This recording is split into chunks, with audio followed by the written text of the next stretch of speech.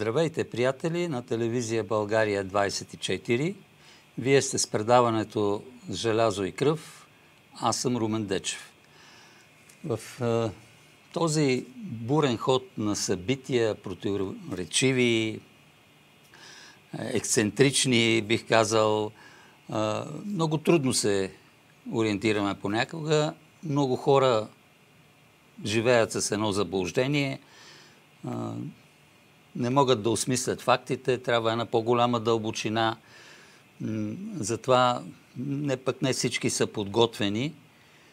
Но днес към тази трудна задача да хвърлим малко погледи назад, да се опитаме да осмислим и нашата съвременност, в която живеем и перспективите, които вероятно стоят пред нас, ще се опитаме да го направим с академик Георги Марков, историк, един от доаените на възраждането на българското национално движение. Благодаря. Здравейте. Здравейте, радвам се да ви гостувам. Да, за нас е чест. Чест е, че в студиото на Желязо и кръв един от видните български историци. Сещате се с желязо и кръв, това е на Бисмарк. На Бисмарк, да, за обединението на Германия. За обединението на Германия, което като че ли е актуално и днес. Като че ли и днес много неща, дали обединение, дали разединение, стават с желязо и кръв. Да, силата остава в историята. Тя движи историята. Не само войни, но и във всекидневието. Да, и във всекидневието. Насилието си е един, един фактор фактор. За съжаление, насилието е в човека, човешката природа, за съжаление. Не казвам, е, че това е оправдание, но когато вече насилието става организирано от държавата, това е по-различно. Това не е домашно насилие. Да. Обаче там, където липсва държава? Там вече е насилието, вече и по улиците. А... И повичаше. На времето Джон Лок в така своето прочуто произведение два трактата а, разглежда същността на властта и казва а, дава едно много интересно определение, което не, се, не съм срещал да, го, да се коментира. А, че власт имаме когато може да се прилага смъртно наказание. Да. Тоест, пак копира се върху насилието. Ако нямаме смъртно наказание, няма власт, защото не може да контролираме поведението на другите. Така е, така. Кой обръща внимание? А днеска, уж в така наречените демократични цивилизовани държави, се бяга от... Това е погрешно. Защото е, човешки права се полагат на човека, а не на изверга. Оня, да. който убива и деца, и жени, той не е човек той е избор. Той не може да има човешки права. Това е, аз разсъждавам като историк. Да. Съжаление. И, и по принцип по-силните държави, и сега като гледаме държавите, които се развиват, да. са държави, които имат смъртно наказание. Да, да, да. Това е интересно. Дори Япония да вземем, Съединените щати. Да, в някои щати нямат, но повечето имат. И да. Там, да. В Индия. Но те казват, при нас е по-човеколюбиво вече не на електрически стол ги печем, а с химическа инжекция. Да, няма значение как. Да. А, но получава се така, че там, където държавата не прилага смъртно наказание, то не изчезва. Да. То се прилага а, отново, но от други сили, които, е. които стоят извън държавата и фактически те иземват властта. Вече там няма прошка. Те си имат свой закон, свой съд и им смъртното наказание го прилагат по различни начини. И, и безогледно, нали? Безогледно, да. И се знае, обществото знае, да. И има си едно на ум, изпълнява не това, което е. иска държавата, това, което иска сенчестата власт, така е, мафиотската така е, власт. Сенка, да. Нали, сега говорим за дълбока България, паралелна държава, има много изрази. Да, да. Но никога в новата история не сме изпадали в такова безвластие, да не кажа анархия. Че властта е силна като институция, но само в пределите на Народното събрание, президентството, Министерския съвет. Но на, на, на улицата, дори полицаите, аз си спомням, понеже Народното събрание, нали, старата сграда до академията, протестират и скъсаха погоните на един полицай. Да. И му викат убият. Викам, хъмни го той е. А, казва, те снимат полицейско насилие. Той не смее полицай. Еми, ето сега имаше случай, един полицай, а, престъпници, след като ги предупреждава, Да. стреля във въздуха и с това стреля Така, с да. намерение да, така да го рани, обаче го убива. И каква, какъв шум. Да, сега... А, вече какъв а, полицейско насилие, престъпление. Ми то, ако а, полицая не може да действа, когато има престъпление, той не може да пази обществото. След като той да въздух, въздуха и изстрел предупреждение, трябва да спре. Да. Бандите трябва да спре. Ако не следва вече така е. Това е полицията на всяка и по света има определени правила за да действа. Но самите полицаи се чу- чувстват незащитени от, от държавата. Въпреки, че би трябвало държавата да ги пази, съгласно закона. Защото те пазят държавата. Да. Има едно крайност на времето, милиционерите можеха да бият, който му падне, обаче след това пък се лишна махалата. Полицаите вече ги е страх да посегнат, дори и с законни основания. Така, и точно в една такава обстановка а, се появява този случай, който искам да коментираме. Съжалявам, че в момента не можем да пуснем видео.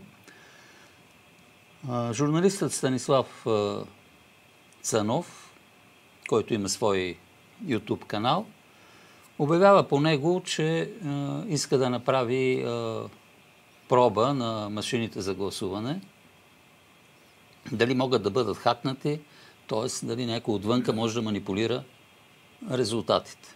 Съобщава го това в предаването и два часа след излъчването се обажда Алексей Петров. Един от тези, които могат да прилагат смъртното наказание. Доцент Алексей Петров. Доцент. Да, не успя да стане професор. Не доживя Не професор. доживя, да. А, вика го при себе си и го предупреждава. Внимавай, фарчите много, ще се наложи да ви приземяваме. Заканата и аз. Попита Еди кой си, който го блъсна товарния влак. Да. А, не искам да се говори за това, никакви такива проверки на машините. Аз ще ги тествам и дава да се разбере, че този човек ще тества 200, 200 машини. Значи дава да се разбере, че той е който се занимава с машините. И а, Цанов естествено а, се въздържа да прави каквото и да е, но след а, убийството на Алексей Петров изкара този запис а, а, в а, социалните мрежи и в, а, по YouTube. Сега, този факт какво ни говори за днешната държава? Красноречив е факта, да. Какво, какво определение можем да дадем? Каква държава живеем? Това либералната държава ли е? Демократичната държава ли е? Много се говори за задколисие. Често го повтарят политиците от различни политически партии. Но там има задколисни меродални фактори, които са свързани олигарси и там играят и поръчки обществени, и милиони. Така ще лобират. Защо няма закон за лобизма, както в Штатите? Това се говори от 30 години. Народното събрание отказа закон за лобизма. Нека да лобират на, на законно основание. Няма такъв закон, като в Штатите. Ами, аз не знам. Да, ето тук в момента тече а, всъщност това, този видеоматериал с... А, ето го господин Цанов, а, журналиста.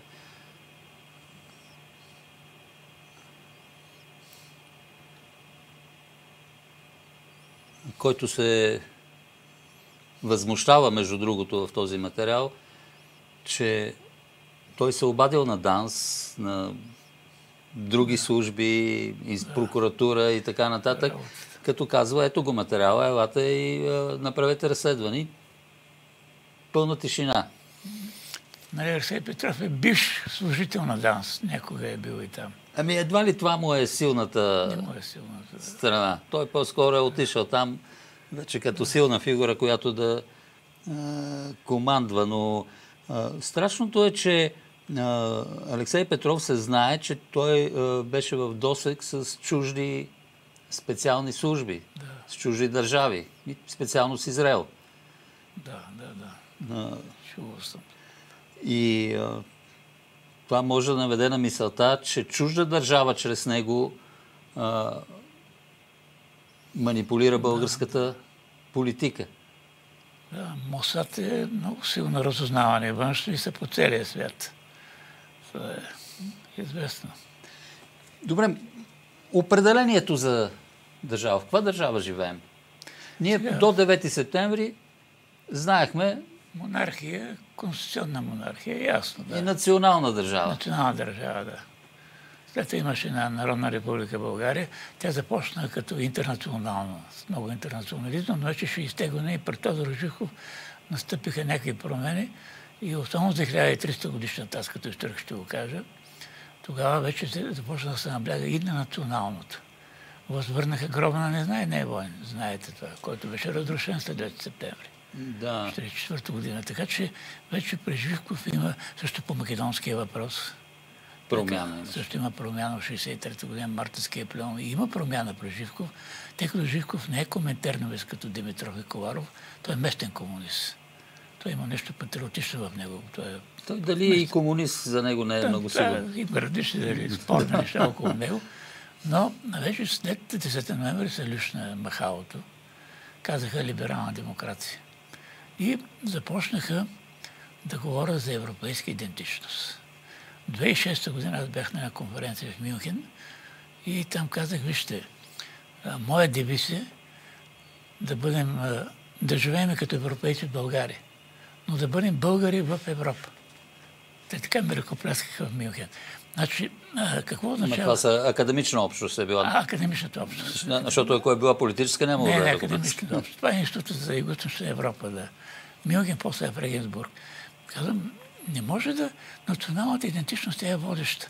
И генерал Дегол, известно Европа на нациите, Европа на отечествата, но те смениха генерал Дегол. Неговия девиз е Европа на, на регионите, Европа на гражданите. И искат национално, говоря за корпорациите, които границите им пречат, искат суровини, ефтини, ефтина работна ръка, търговски пазари. Това ги интересува корпорациите. Те също подкрепят европейска идентичност при глобализацията. На, на корпорациите им пречи националната държава. Пречи, пречи. Те защото границите им пречат. защото държ... националната държава е сила, Така е. която може да им се противопостави. И те, струва ми се, че са много заинтересовани да има това безвластие. Така е. И самите те да се намесват и да управляват чрез И подмолни наливат структури. огромни пари, разни фундации. Това не е само Сорос, който първ започна в началото на 90-те години. Има и много други фундации, ко- които наливат пари. И за съжаление, аз с някои така колеги, по-мали колеги, те ме казаха, Мих Марков, ние сме прагматично поколение. Нали, Вече тя ги интересуват проектите с повече пари, разни фундации, но, но зависиш от фундациите. Те, те ти възлагат темата за разработка. Освен това, националната идея е някакъв регулатор на обществените отношения. Така е. Тя казва кое е добро и кое е лошо да се прави в едно общество. И когато тя изчезне, настава хаос. И тогава какъв прагматик си ти Не е прагматично. умираш в, в хаоса. След това сега на Франция, Великата франска революция, национализма, когато Гьоте пише а, за една битка в френската революция, войниците да живее нацията. Се вторят в атака. Значи във Франция националното се още е силно там, в Франция. И в някои други западноевропейски държави. А искат от нас да нямаме национална гордост. Те и във Франция го убиват и тогава ми се струва, че те изваждат по време на Френската революция едно понятие за нация, което е доста окастрено и изопачено. Защото казват, нацията това е третото съсловие. Да, да, Абат Сиес, нали, да. в неговата книга, що е третото съсловие. Значи нация е третото слово. Другите две са словия. Първото и Те второто. различно съдържание полагат, да. Те, те са вън от нацията. Краля и той е вън от нацията, в крайна сметка. Обезглавява. Така е, трябва да- А това вече не е нацията. А това на нацията е, а, защото а, в тогавашната традиция първите две а, съсловия, те съдържат в себе си духовния елемент. Да. Но, за съжаление, Хитлер компрометира национализма и сега, каквото да кажеш, национал-социализъм. Веднага прибавят социализма, да. Да. Или национал-популизъм. Или фашизъм. И, а и фашизъм. Как може напоследък, както след девета или път етикети фашисти на политически противници, за да ги убият като такива, сега също ли път етикети за фашисти? Какъв фашизъм има в България? Според мен това, това не, е- не, не е допустимо да се лепат такива политически етикети. Ами, може би една предпоставка за това е, че а, никой не дава едно ясно определение за това, за Това е фашизъм. фашизъм, да. Вие какво мислите по аз въпрос? още като студент имах е, по история на БКП спор с един там доцент. Казвам, няма монархофашизъм в България. Царят не е фюрер. Защото това означава една партия. Тоталитаризма. А след 3-4 година те забраняват партиите. Почва служебни правителства да управляват. Авторитарен режим на монархия има, но няма фашизъм в България. Има отделни фашистски организации, на Сталийски и други, Те са малки обаче те организации. са малки, те нямат влияние. Легионерите не са фашисти. Ратниците имат влияние, но, но, но, но те не са фашисти. Но тръгна този фашизъм и сега отново етикетите отново се възродиха. Да, а, но за мен също така стои въпроса, защото, да кажем, едната, ед, ед, една единствената партия, а, нали, единната партия, Да. а, която е и тоталитарна наречена. Ама добре, диктатура, да, ама. Александър Стамбулийски го прави същото. Той унищожава другите партии, ма той не е фашист. Той говори със словна власт. Власт на селячеството иска да потиска работничеството, интелигенцията иска да затваря университета и така нататък. Стамбулийски. Но ето 100 годишната от преврата на 9 юни, убийството на Стамбулийски не се отбеляза. Поне така в медиите, доколкото ги- следя, не се отбеляза. Сега идва едно възстание следващия месец. 100 годишната от септемврийското възстание. Трябва да се обясни тази авантюра на, на, на Коминтерна. А Димитър. Благоев е против авантюрата. Септемврийското възстание. Това се криеше. Ами той и Д- и Георги Димитров в началото е против. Началото. Васил Коваров изпраща Коминтерна. Да. Но, е, но те не отиват в Мъглиша, отиват в северо-запада, за да бягат през Сърбия в Виена. Горе главите. Когато ги стикат главите. Горе, славни борци. Така че е, трябва да се отбелязват тези събития. Превратни, бунтовни. Да се осмислят. Трябва да се осмислят, да. И Но национално да, аз им говорих пак в Мюнхен. Това, че сме е, добри българи, не означава, че сме лоши европейци. А 95-та година в е, Парк Хотел София една конференция за новите там учебници по история имаше от чужбина назидателно една французойка. Аз понеже работя в войните, дядо ме е загинал в Балканската война 3-4 години. Аз съм на 76. И и казах, но защо не искате военна история? Това казва историята на войните, омраза, вашите съседи. Викам, а вие във Вирджин, защо правите военни паради? Германците беше съюзници, те се дразнат, аз може да го знам е от немците. Това е наша национална гордост. Викам, ми оставете ние да имаме малко национална да, гордост. те искат само те да имат. Само те да имат. Това е 95-та година. Да, макар че сега новата политика на Макрон е въобще национализъм всякакъв е, и там да изчистват. И там да, Макрон като либерал-демократ. Не, той, аз, е, макар че имах е, едно разногласие в един институт, е, няма ги вече нея лидери. Няма го Дюгол, няма, го Чърчил, желязната лейди. И казах, вижте сега, Макрон, а тогава Бойко Борисов го беше поканал в Евсионград. Каза, неговата съпруга го води за ръчичка. Макрон. Е, Тя не се знае съ, съпруга ли е коя, защото Да, излезе добре. информация, че е джендър някакъв. И, и като скочи там един а, в Пловдив, който разруши мазолей, там беше някакъв там, той социолог, добрах му името.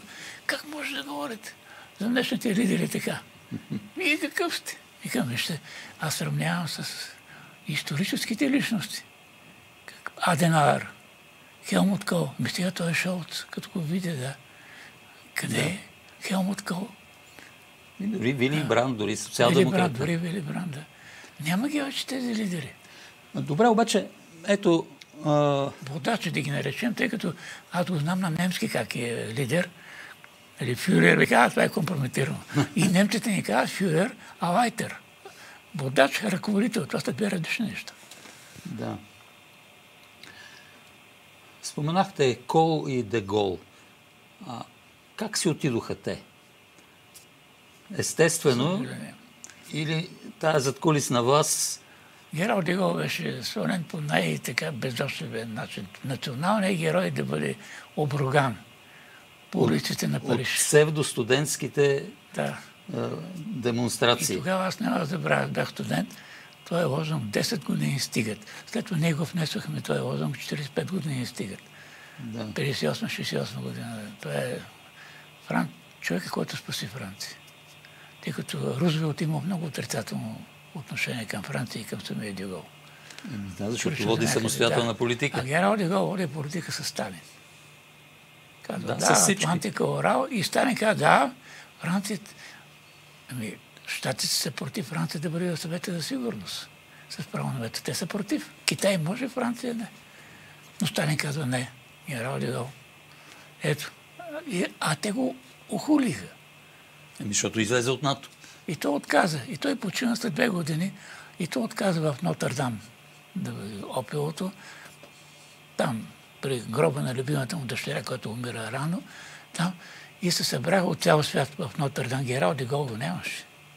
Той отказа. Много достойно се отиде Герал Дегол. Но къде ще се равняват нещата? Да, но аз на това искам да наблегнем. Защо си отиде? Защо го махнаха? Защото той държеше именно за националната държава. Ето той е. изкара Франция от НАТО. Изкара Франция от НАТО. направи Франция ядрена сила. Каза, не ми е- трябва американски ядрен чадър, ние трябва да има ядрена сила. А атомна бомба направи Геродио. Взема си златото от а, Штатите. Да, Штатите, да. Резерва златния А западно-германското беше там. Но то още е там. Още е там, да, германското. Така че няма ги такива водачи, за съжаление. А днешните, не знам как ще останат в историята, това но, но, но да не повтарят, че били заели правилната страна на историята. Още не се знае коя страна. Историята ще го рече. Да, да, но това е видно, че не са взели правилната страна или поне не са взели правилната страна от гледна точка на своята нация, на своите народи и на, на своите общества. Те са против своите народи. И тук, като казваме случая с Алексей Петров, който демонстрира, че управлява машините за гласуване, кой гласува за Макрон в... Да, Франция. Да, да, това е любопитно кой. Нали? И как втори мандат. След като Цяла се Франция е на протест срещу него. Протест, Жълти жилетки Всички няма. са, непрекъснато са а, демонстрации. Цялата му политика е антисоциална. Да. Кой гласува за него? И там те са много по-напред от нас това отношение. Да. Или, или Байден. Байден. Кой гласува да. за Байден? И там, да. И там. Аз се, се чудя, нали? Имаме кадри много на неговите предизборни събрания. И те са събрали там 20, най-много 30 човека Партийна на, активна. на едни столове, партия, едни да. шезлонги, на една празна поляна и това му е предизборен, предизборно събрание. Това, изборите днеска президентските струват 10 пъти повече, отколкото при Джон Кенеди. Тези пари, те не могат да ги съберат само от а, така, дарителство. Те ги имат от банките, Ротшилти за единия, нали, Форти за другия. Всеки си има президент. И всъщност американците избират от двама, обаче те са посочени. Те са посочени. Там има и също една система. Така беше, ама Тръмп като че ли я наруши. Да, Тръмп, защото той самия е милиардер. Той е прекалено богат. Той се забавлява, Тръмп. Бе, бе, рисковано се забавлява. Това е рисковано. Да не опадне самолета, както се казва. Да, Ето защото той.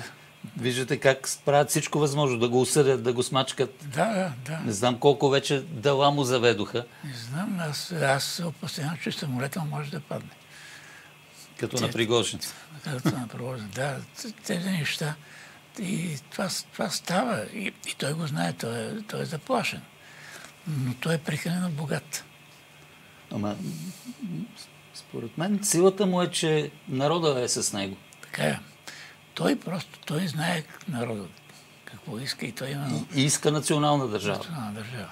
И той вече разбра глобализацията.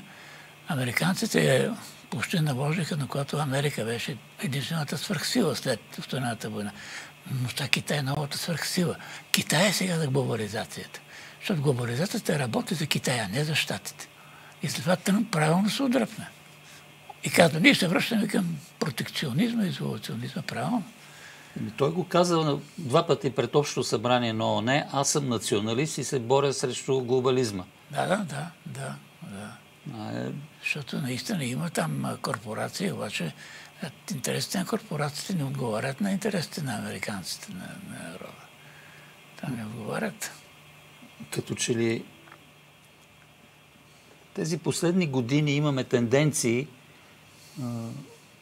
които благоприятстват така появ... възраждането, да го кажем, не появата, но възраждането на, на национални държави по света. Ето пример е Орбан. Орбан. Значи, Унгария с Русия има историческа връжда. С Русия. Да, от край време. Но ето сега отношението на, на Унгария към, към Русия по отношение на санкциите. Нали? И, и по други въпроси. Или за зърнените култури. Нали? Орбан казва не. А нашите вина клекнаха. Нали, Орбан не ходи в съответното посолство да, да докладва както ето, за съжаление. да пита какво да Имаше съветско посолство, но сега пък има американско посолство. И там има един паметник на американските лети герои, загинали при бомбардировките на София. И Сергей Игнатов поднесе венец от името на правителството. Много жалко. Много жалко. И, а... Много жалко. И това е в двора. В двора за него мацът, там има морски пехотилец пази. Това е жалко. И аз затова казах е, вчера, викам, вижте, за 3 март. Ако искате го заместете, или 10 март 1944 година, или, не, или 10 януари, или 30 март 1944 англо-американските бомбардовки. Викам, да, това е национален празник за нас. Едно военно престъпление. Да. Е, това беше е, едно от е, предложенията, които сега внесоха включително в Народното събрание за промяна в Конституцията. Да. Защо го правят? Какво целят? И пак политическа целесообразност. Направо имаше идеологическа целесообразност, има политическа целесообразност. Тези възпитаници от, на Оксфорд, нали, те ясно, американското посолство, те, те, те си говорят за тях майчин език и английски. По-често говорят на английски. Ето, 3 март ги дразни. Ама 3 март българска държавност след 500 години. България е отново на картата. Тая държава днешната е от тогава. И има руски царизъм, вярно е. Протоците, топлите морета, обаче императорът казва на войниците да освободим братата роби, славяни и православни. Ами, да. Имаме, не е цинизъм, 200 хиляди. Няма казва тук. 68 700, но нямаме толкова гроба на чужди войници на тая земя българска. Така че 3 март не бива да се посега. 24 март, разбира се, това е духовен празник. Но празника националния е революция, нали, Франция, там, Штатите, възстания в Сърбия, Гърция. Това са дати други. Не, 24 май е най-българският духовен празник. Та нека, не бива да се противопоставя двата празника. Не, в никакъв случай. И, а... Освен това, 3 март го забранява Червенков. Тето четвъртогодина това казва е а, празника на Великоборски шовинизъм. 3 март беше забранен в Народна република България. Това е, е много важно да припомним. След 89 година е възстановен. И защо? това ги дразни Сан Стефано. Това е национален идеал. Вярно, че той не беше осъществен. Това е друга голяма тема. Аз съм писал теми за е, книги за войните, за националното освобождение, обединение. Обаче не е виновен договора. Други са обстоятелствата по-късно. И граф Игнатев. Дайте да махнем улицата граф Игнатев, да върнем Самоковска. И, и, и това ги дразни. Или пък искаха да махнат 92 Александър Невски, свети Александър Невски, идваха при мен в СДС, 92 лятата Какво става тук, бе? Александър Невски, от другата страна Тера освободител, пък и не улите генерали, руски, към това е историята. Не пипайте свети Александър Невски. 1915 година, 1 октомври, България обява война на Сърбия.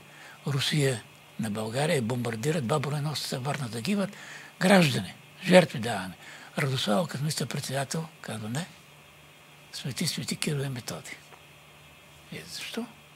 Като това е патрона на Тера освободител. Това е до 21 година, после го връщат. Светия Сънот е против. Те искаха и светия Александър Невски да преименуват. Такива времена бяха. Ами, дразни ги тази духовна връзка на българския народ с Русия. Има го. Дядо Иван, вярно, това е романтичен, романтично русофилство. Дядо Вазов, здравствуйте, Бъртушки, Славейков, Петко. Така. Обаче това е. И няма две освобождения, има едно. Да. Няма, няма втори освободител. И... Това, е, тук съм категоричен, не се свързват нещата. Да, и, и независимостта, доколкото е придобила България, то е благодарение на 3 марта, не на 22 да, септември. Или, или Съединението. Какво ще да. да съединим? А, ако а, Скобелев а, не беше организирал съпротивата а, срещу влизането на османските войски в източна Румения. Да, да, ще, ще има турски гарнизон. И не беше натиска от страна на императора да, да не се стига до да. кръвопролитие, което принуди Османската империя да остане отвънка. И тогава Никак... щехме между два фронта. Никакво... Никакво съединение. Съединение можеше да има. Така. Така е. Значи, трябва да бъдем много внимателни. Има руски царизъм, топлите морета, завета на Петър Велики. Е, значи, ясно, стремат се. Стремат се към топлите морета. През България, през Балканите или през Кавказ. Десет руско-турски войни, но няма народ на Балканите, който да се освободил сам. Сърбите вдигат възстане, гърците вдигат възстане, но има поредна руско-турска война. Да. Но тук още а, има един момент, а, който академик Косев а, така да, наблегна да, на него. Бог да го прости. Бог да го прости. А, ролята на Бисмарк. Точно. Бисмарк, който беше охулен. Да. Царя освободител, нали, той е за освобождение на България, но точно в този момент не се чувстват Той не желая войната, тъй като баща му умира по време на Кримската катастрофа. Да. Той, и, и руската армия не е готова за война. Не е готова. Тя, а тя отскоро става редовна армия, отскоро превъоръжава се. Те са голем, големите реформи така. Войната е висяла на косъм приплемен. А Климик да. Косъм това го е доказал, да, неговите трудове. А, и, а... Но Бисмар, който му дава гаранции, че Австро-Унгария няма да наруши. И няма да се намеси, както в Кримската война. Не само това, той го подтиква и му дава да. и пари. Точно така. Заемите ги отпуска Бисмарк а за война. беше оплют. 2015 година академик Косев инициира да отбележим 200 години от поражението на Бисмарк на 1 април. Големия салон на Бан дойдох от посолството, от Германия и поставихме въпрос за една улица, тъй като него дължим, че София е столица на княжеството. Той да. казва, а не, по билото на Стара планина, обаче билото минава по Бакарел, там по височините и някаква карта на германски географ. Благодарение на Бисмарк запазване Варна. Руските войски не са да. превзели Варна. Та Бисмарк също има своите заслуги и трябва да има такава улица. Той много голям натиск казва да, за да. Варна. София трябва да има такава улица. Надявам се. Да. Добре. Вие а, споменахте Сорос. Да. Как го оценявате? Тя Сорос има своя гледна точка. Знаете, той е бил, той е унгарски евреин и така нататък, страдал бежанец, милиардер, афери, делавери, обаче той знае как трупа милиардите, обаче той успя чрез отворено общество началото на 90-те години с помощта на Луканов да създаде в България така наречените соросоиди в политиката и в културата ги има. Има, има ги а, и в економиката, които и днес имат влияние в България.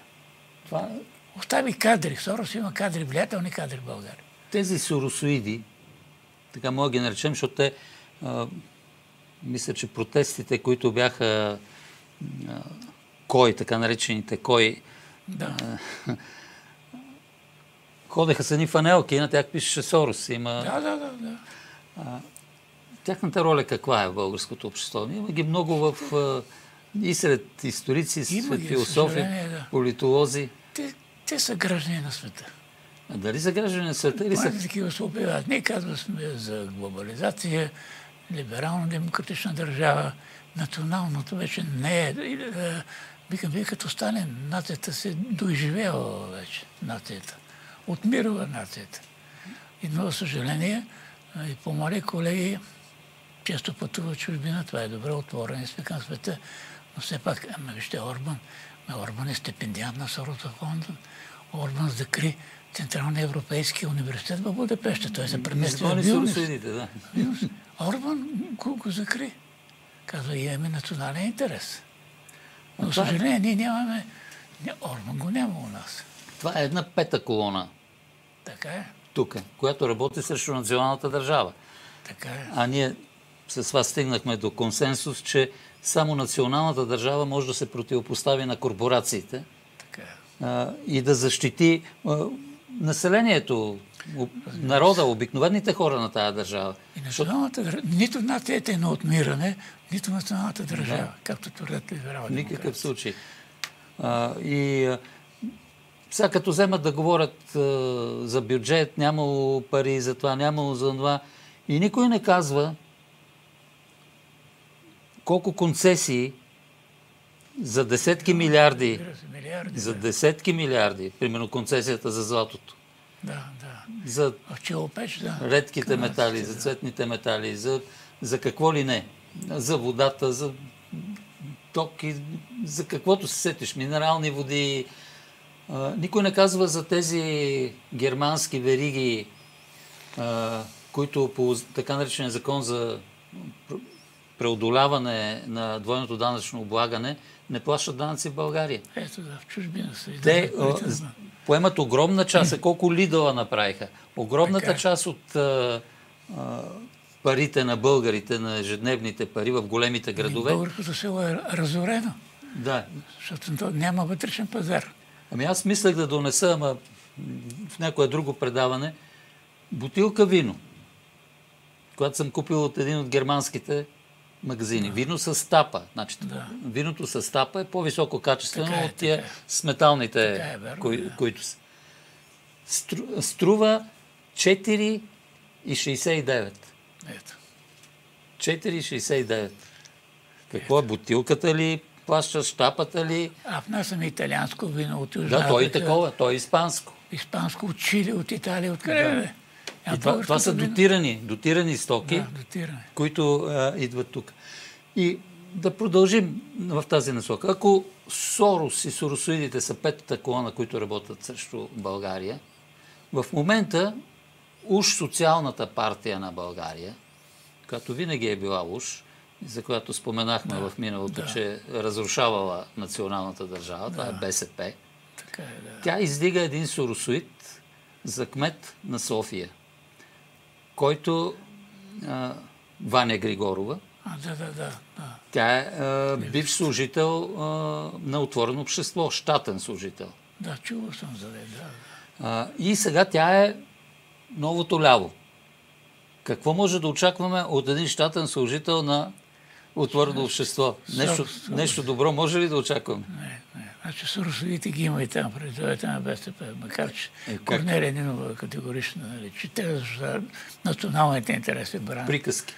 Това да. са само приказки, демагогия за масовата публика. Да, освен това, викам, аз нека и говоря за Сорос, още 90-те години. Ти си антисемит, викам, не. Аз ти не евреите. Това е на нация с заслуги. Половината световни шампиони са евреи. Да, така че не, не само Айнштайн, имат и учени.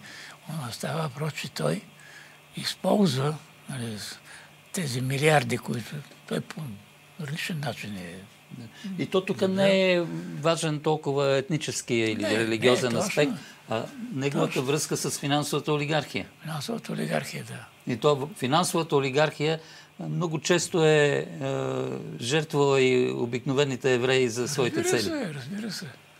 Ние не можем да говорим, тъй като за евреите в България преди 20 септември. Малко са богатите евреи. Те си чутно работници и какви ли не. Да. Е, Обаче, ето и това използват. А Сорос се се надява, че вече ще, ще му мине времето, но то остави кадри, които вече заемат възлови постове. Ето сега кмет на София иска да стане тая госпожа. Аз бих и а, така казал на Корнелия Нинова, че издигането на Ваня Григорова от отворено общество, защото зад нея стоят точно тези да. кръгове. Например, всички в Google, в интернет, всичката информация, която е преди 2013 година, времето, когато тя е била в отворено общество, е няма. Сега в момента не може да се намери. Да. Дори в Википедия, Википедия нейния профил го няма. Значи не може да намериш там изтрито. никъде. Коя, коя е тази сила, която може да го направи? Може, да, и говорихме, да. да. да. Алексей Петров и други като него, да. да. Неговите така живи те, те също са... Алексей Петров е марионетка, също подчинен на тази огромна финансова огромна. сила и мощ. Огромна и, и не случайно и Луканов имаше един Максуел. И, Максуел, който... Той, той пък реши, да с яхтата излязъл на 200 км в океан, решил да се къпи посред нощ и взел, че отдавал. Абе, да. Максуел, да.